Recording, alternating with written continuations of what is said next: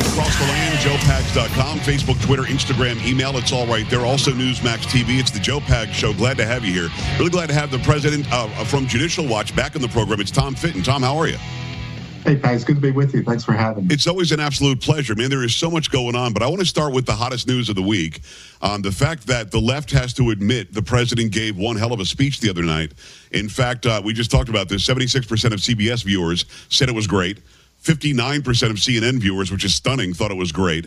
Um, the media is trying to hone in on one line he said about investigations, and they're trying to allege that Stacey Abrams got it right when clearly she didn't even listen to his speech, and then she responded to something that didn't happen, I guess.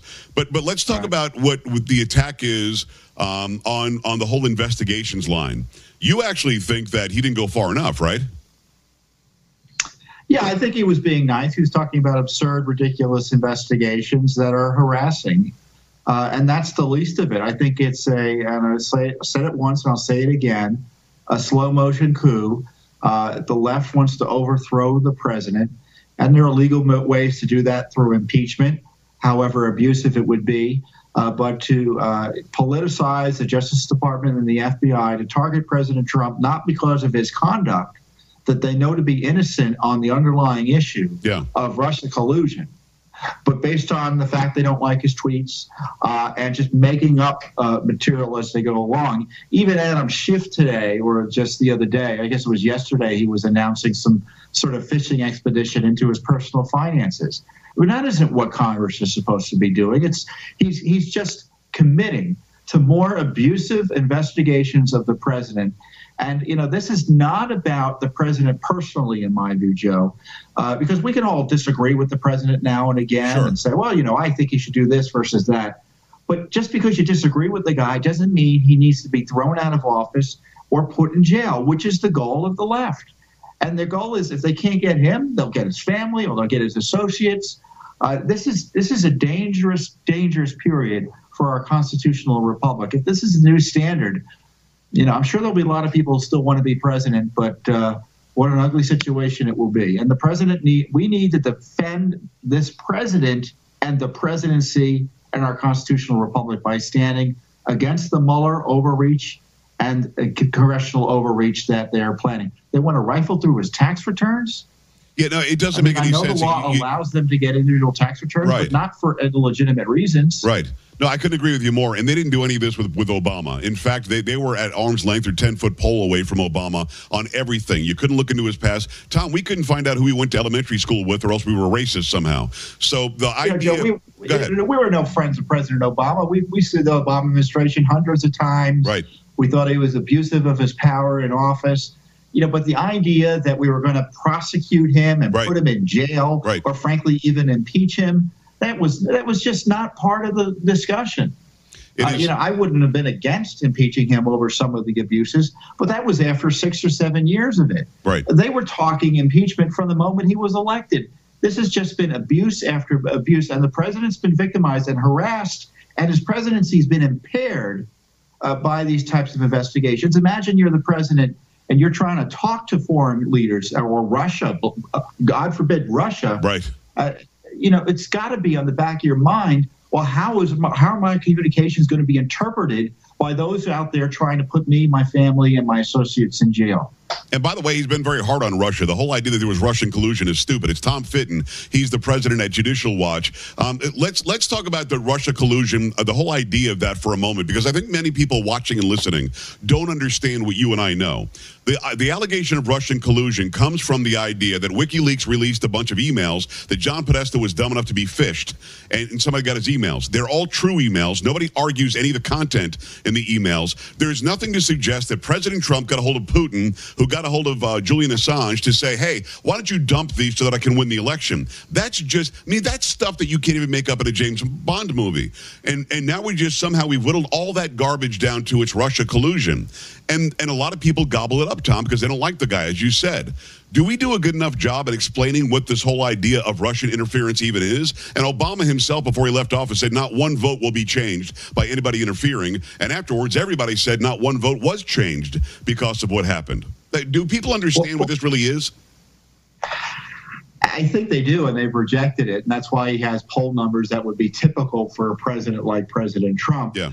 Uh, if people thought seriously that he was an agent of a foreign power, uh, he wouldn't have poll numbers or approval numbers nearing 50%, which is probably par for the course, uh, given how politically divided the nation is. So uh, they've they've they've calculated it and or uh, discounted uh, the Russia collusion story already. Now it's being used uh, to generate excitement by the left.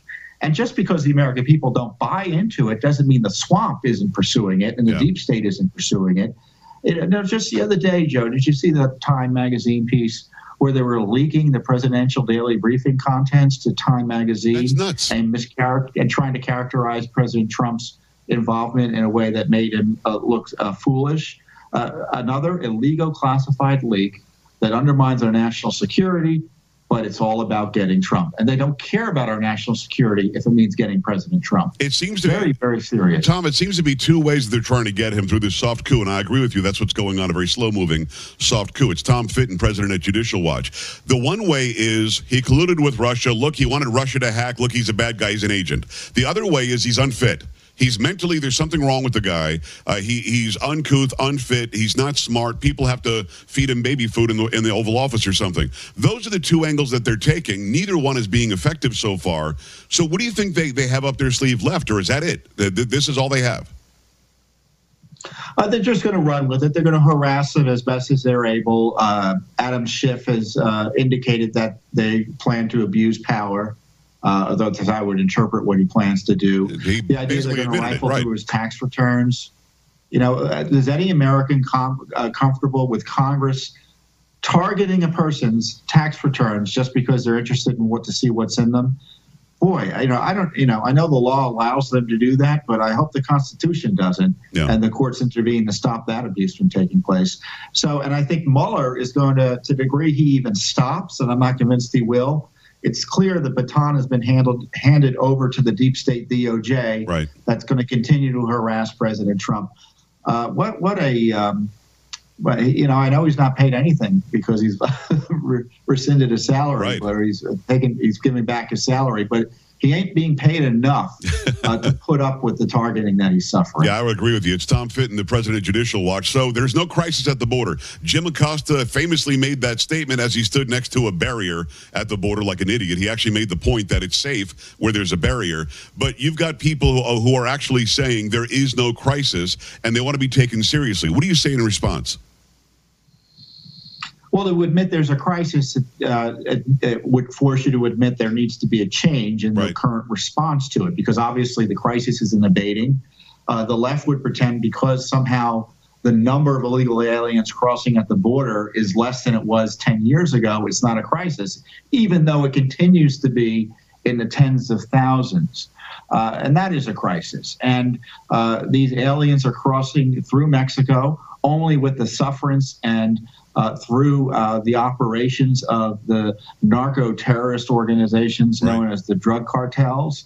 Uh, so this is a serious crisis, and then the border is unsecured.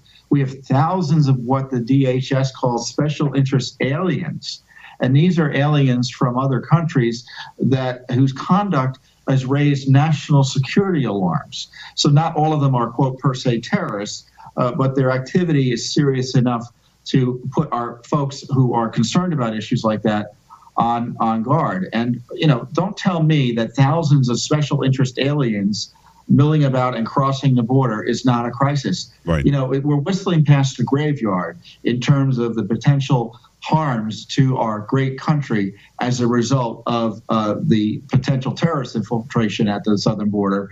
But we're seeing the the the uh, the results in massive illegal alien crime that otherwise would never have occurred but for these individuals being here yeah. every day. And uh, that that's just a slow motion uh, uh, attack on the country as a result of unsecured borders. And by the way, ICE and Border Patrol say it's uh, it's about 50% now people from Guatemala, Honduras, and El Salvador and Mexico, 50% others, including Pakistan and many other countries that we would want to be concerned about. It's Tom Fitton, Judicial Watch's president. Uh, one last question. I'm going to do a hard uh, right turn here to the FISA court. I've always wanted uh, wanted an answer to this very simple question. The FISA court judges now know that Comey and McCabe and all these people down the line, Rothenstein uh, or Rosenstein, uh, they all lied to get the, the FISA warrants renewed. They, they were planting stories on Yahoo News and acting like those stories were just generated by journalists. Look, we've got a story that backs up why we need this warrant. We know they lied. We know that they were regurgitating their own news to get these warrants to continue. The judges now know that. Isn't there any sort of, can't you be held in contempt? Can't you be brought up on, on charges of lying to a FISA court judge?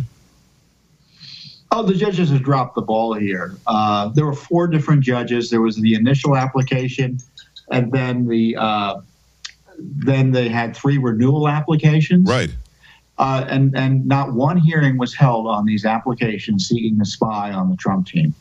Uh, I don't expect them to do anything because they'd be putting they they'd be putting their own credibility has been harmed uh, by their rubber stamping of this spy operation against President but Trump. there's no doubt what I just said happened, right? They lied to, to renew these warrants.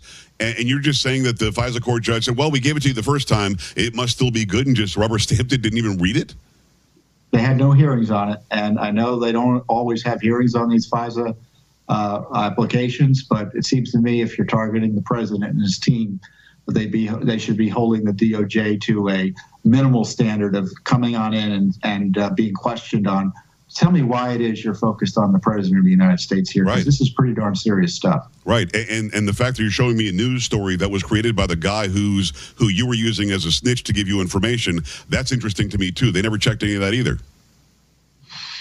Yeah, you know, and of course we know what's who's uncovering this. Judicial Watch. Judicial Watch uncovered that Christopher Steele was paid 11 times. That Christopher Steele was cut off by the FBI. That the FISA courts held no court hearings. Congress didn't co- uncover that. It was extracted through lawsuits and uh, uh, diligent investigation by Judicial Watch. It's amazing. Uh, you know, so don't worry about what Schiff is or isn't doing, Joe. We'll be on the on the case. well, then, well, then we feel a little, a little bit better, Tom. That's for sure. Tom Fitton, the president of Judicial Watch, judicialwatch.org, right, Tom? And uh, also That's on, right. on Twitter, it's at Judicial Watch, and go follow him as well, Tom Fitton, F-I-T-T-O-N. Tom, thanks a million. Appreciate you. You're welcome, Joe. Thank you. Back after this on the Joe Pag Show. Stay right here.